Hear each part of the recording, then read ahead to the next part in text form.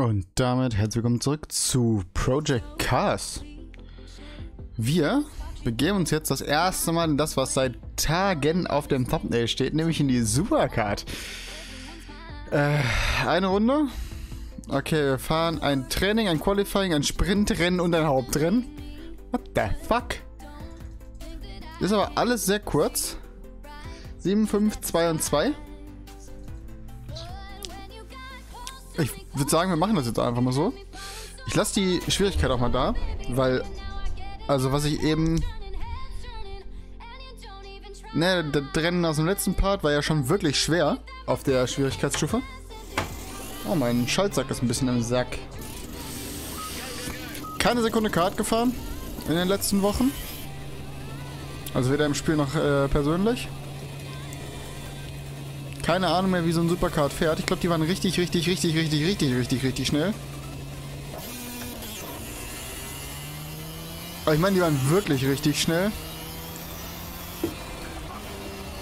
Dubai Autodrom, scheiße. Das lenkt jetzt immerhin mal wieder, wenn man lenken will.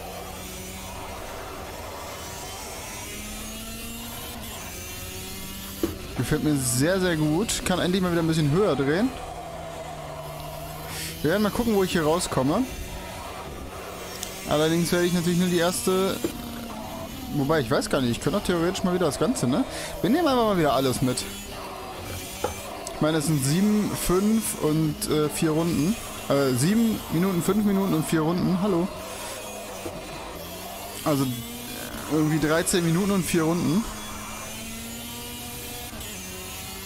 Ich denke nicht, dass vier Runden so lang sein werden.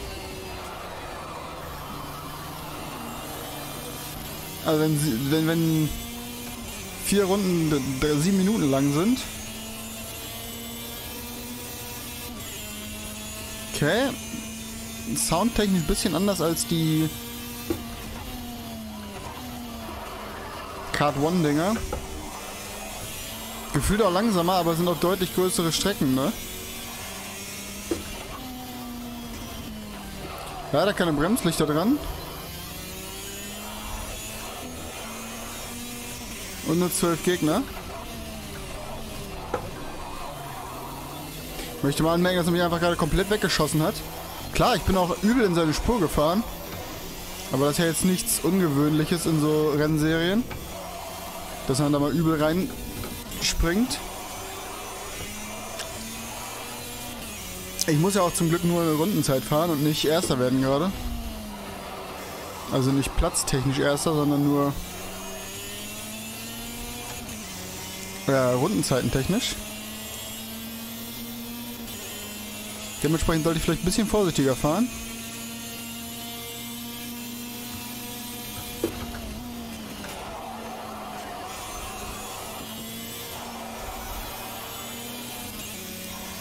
Das sieht aber bisher alles ganz gut aus, muss ich sagen.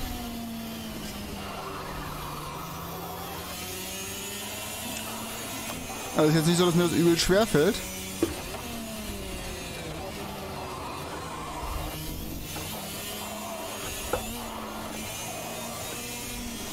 Strecke erinnert mich extrem an irgendwas, was wir in der normalen Kartliga mal gefahren sind, nur halt viel kleiner. Hat einer die Strecke in kleiner aber nachgebaut für die normale Kartliga oder wie? Kann natürlich sein. Also wird natürlich Sinn machen, für die kleineren Karts sowas in kleiner da zu haben. Könnte ich mir durchaus vorstellen.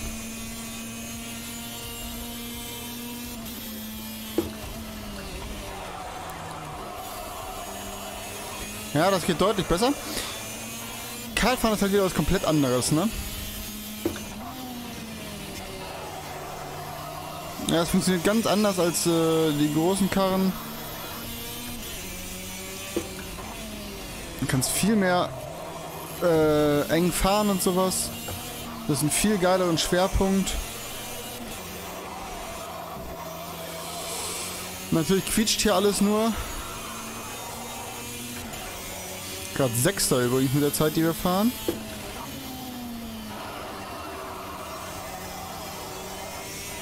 Aber ich glaube, wir sind knapp eine Sekunde schneller. Yes, erster. Und ich denke, da wird noch was möglich.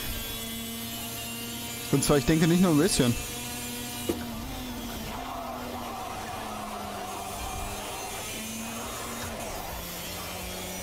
Also das war jetzt schon... Na, das war nicht schneller, okay. Aber das war schon ganz... Uh. Aber bei dem Manöver habe ich mich schon wieder geärgert, dass ich keine Kamera dabei habe, um zu zeigen, äh, wie ich am... Wie ich am Fuchteln bin. Weil das war gerade schon wieder sehr wildes Hin- und Hergefuchtel. Easy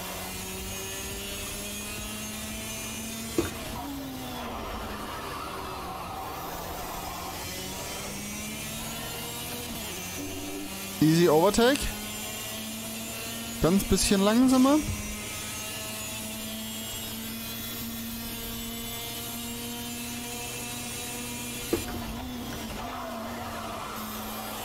Ich glaube, ich könnte ein bisschen vor 50 Meter in eine Bremse gehen. Aber nicht viel. Wobei, das war ziemlich gut.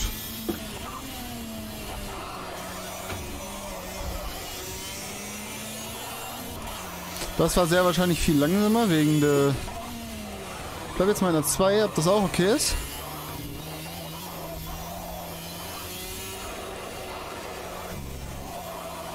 Das war sehr, sehr, sehr schnell jetzt alles. Keine Ahnung warum. Also kann sein, dass die zweite Fahr... Also die zweite Fahrstufe, meine Fresse. Da doch zweiter Gang Key ist.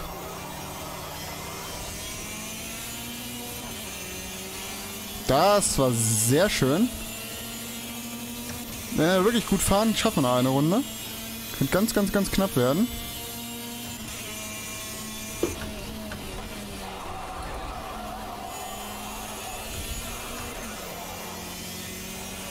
Aber jetzt langsamer, okay. Schade.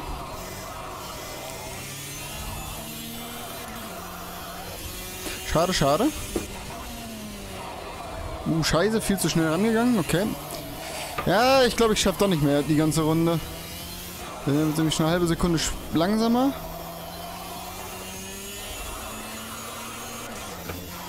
Könnte halt wirklich eng werden, ey.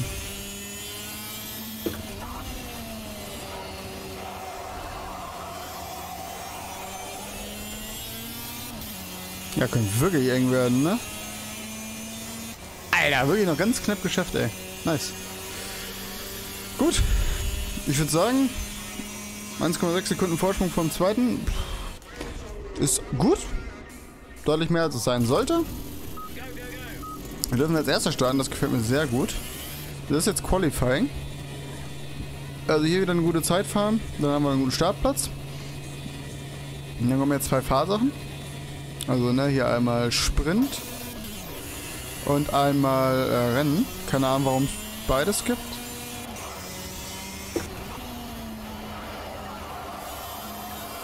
Aber scheinbar ist das wichtig, aus irgendeinem Grund. Ich habe keine Ahnung. Eieieiei. Ich hoffe, es ist ein gutes Bild dabei gleich äh, beim Rennen, dass ich äh, ein schönes Thumbnail machen kann. Ich weiß gar nicht, ob das auffällt, dass ich auf den Thumbnails immer das Auto der Rennserie mit drauf habe, die ich fahre.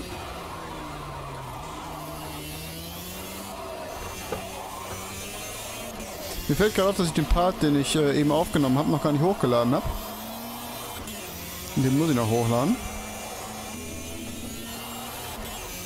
Und ich muss gleich noch ein bisschen Witcher aufnehmen. Denn äh, sonst kommt heute kein Witcher. Das, das war Strecke geschnitten?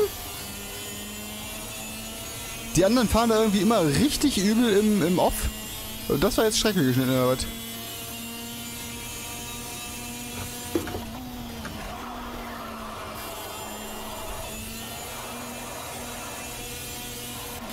Gut, wenn die meinen. Also hat keiner von denen jemals eine Rundenzeit gefahren, okay.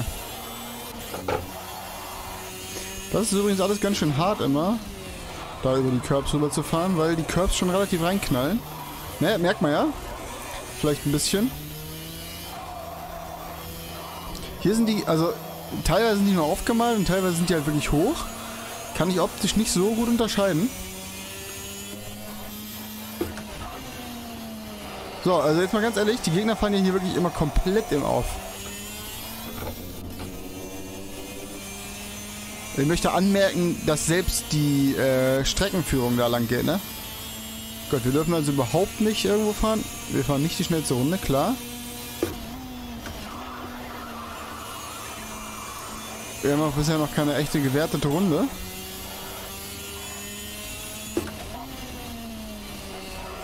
Müssen jetzt mal gucken, dass wir eine fahren.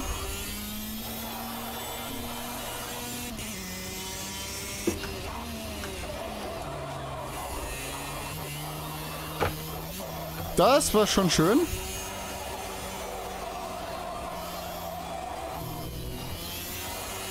Das nicht so. Aber noch alles fein.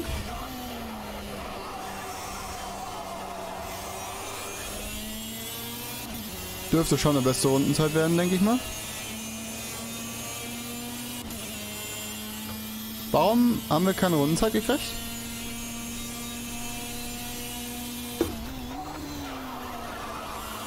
Also die Rundenzeit vorher war ja nicht gewertet, weil wir geschnitten hatten, aber die jetzt? Habe ich nicht verstanden. Habe ich äh, eine Disqualifizierung übersehen gehabt? Oder ist das immer rundenübergreifend? Weil ich dachte mir noch so, oh Gott, dann muss ich noch eine ordentliche Runde fahren, aber jetzt muss ich noch eine fahren. Zwei neue Bestzeiten für Sektoren. Aber nur weil es ja keine gab.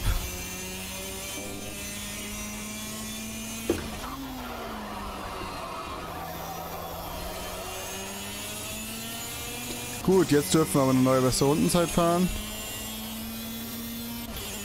Easy. Wir schaffen noch zwei Runden, wenn ich will.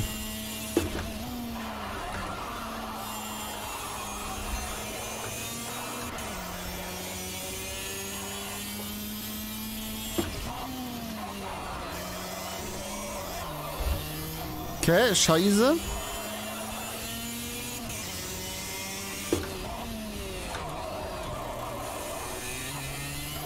Ich weiß immer noch nicht, ob es hier besser ist, mit oder ohne, also in den ersten oder den zweiten durchzufahren. Bin ich mir immer noch nicht ganz sicher. Der leichte Dreher eben war auf jeden Fall eine Katastrophe. Aber eine Chance kriegen wir ja noch. Plus, jetzt sind wir gar nicht mehr so weit hinten, ne? 0,2 ist gar nicht so viel langsamer. Also, zwei Zehntel.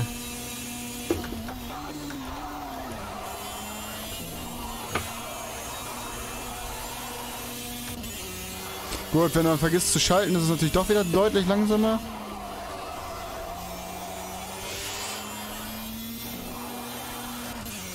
Und wieder vergessen zu schalten.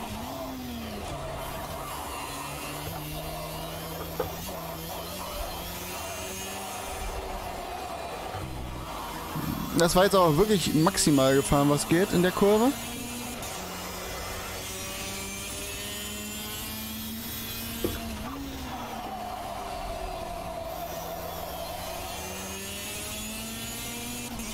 Ich glaube, das war gar nicht mal so gut angefahren, aber okay. Easy. Ich glaube, die ist schlechter als unsere Bestzeit im Dingens. Aber das haben wir ganz gut gemacht, würde ich sagen. Unser Mail ist einfach mal auf dem 11. Weiß ich nicht. 1,3 Sekunden langsamer ist okay. Könnte ich hier in der Rennserie auf jeden Fall noch ein bisschen schwieriger einstellen. So.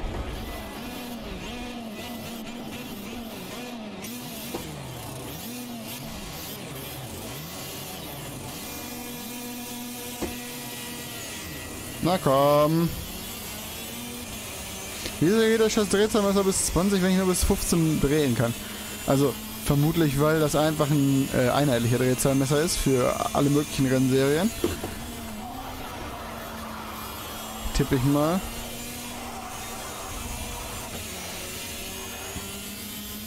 Ganz einfach.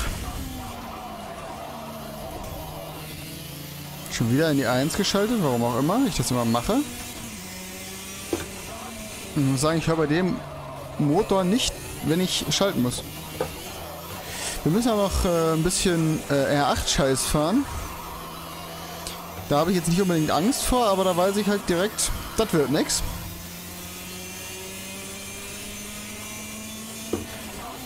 Ich meine, im Endeffekt ist das okay, ne? Man muss nicht immer alles gewinnen.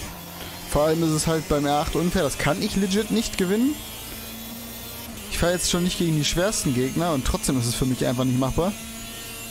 Nicht realistisch zumindest.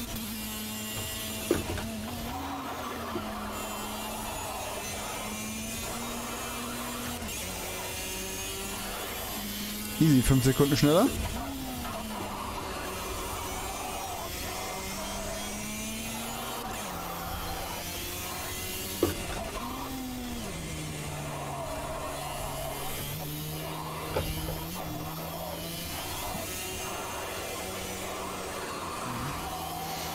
Das war nahezu optimal, würde ich sagen.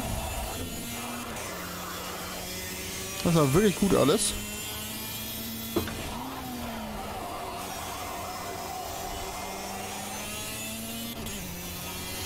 Oh, entspannte 5-2 schneller. Geilo Milo. Und dann fahren wir jetzt nochmal. Warum auch immer. Ah, drei Sekunden hinter mir. Nee, ich wollte nicht Wiederholung, ich wollte weiter. 15 Punkte gibt's für die Scheiße. Und auf zum zweiten Rennen. Fahren. Er ist jetzt aus dem fliegenden Start, okay. Warum auch immer. War aber, glaube ich, in einer anderen Kartsaison auch so.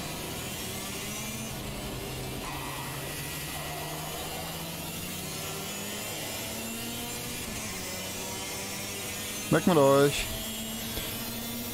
Also in den Karts kann ich auf jeden Fall auf 80% hochstellen. Ich denke im normalen Rennen scheiß auch. Wisst ihr was drauf geschissen? Ich stelle die Audis auch einfach auch ein, ein Stück höher. Ist ja nicht so schlimm. Verliere ich halt noch härter.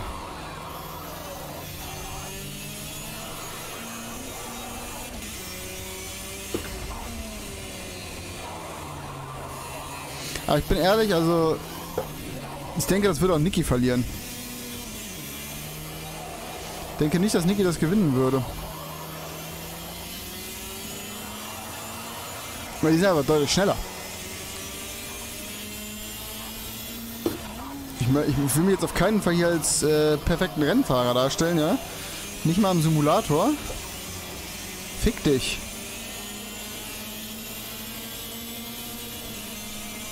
Aber so schlecht bin ich dann doch nicht, dass ich so hart abscheiße.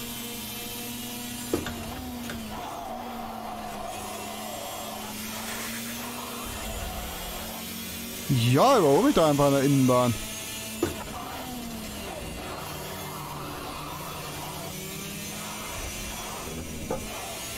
Das war jetzt nicht geschnitten, okay?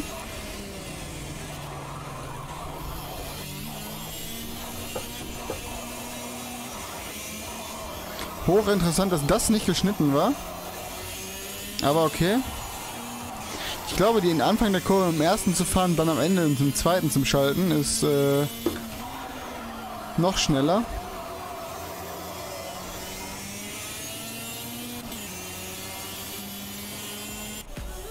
Easy. Bin gespannt, wo ich das schnellste gefahren bin. Wirklich, also wirklich, wirklich gespannt. Ja, er war 1,3 Sekunden hinter mir. Das war auch gar nicht mal so viel. Entspannte 20 Punkte gemacht. Sehr, sehr schön. Wir sind in einer, im ersten Rennen das schnellste gefahren. Dann im zweiten, dann im Training und dann im Qualifying. Qualifying die schlechteste Zeit, aber entspannt. Dual Kartenmaster Cup abgeschlossen. Sehr gemütlich. Ich würde sagen, wir kehren zurück zur Karrierezentrale gucken noch mal eben, ob ich äh, eine Bronzeauszeichnung kriege ich selbstverständlich. Und dann gucken wir noch mal im Posteingang. Ja, super Sieg und zwei in Folge. Sehr schön. Beim nächsten Mal machen wir weiter. Äh, mit dem Lotus Class of 86 Masters Cup. Den letzten meine ich ist das. Also das Finale des Lotus Class of 86 Masters Cup. Ich hoffe, es hat euch gefallen. Vielen Dank fürs Zusehen. Bis morgen. Haut rein und tschüss.